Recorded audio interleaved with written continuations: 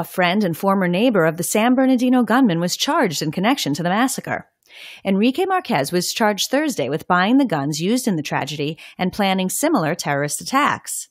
Investigators said Marquez illegally purchased the two assault rifles that ended up in the hands of Farook and his wife Tashfeen Malik.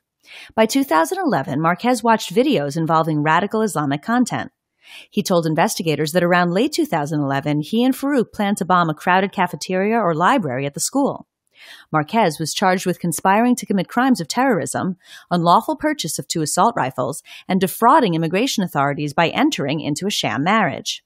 If convicted, Marquez could face 15 years in federal prison on the terrorism charge and 10 years each on the two other charges.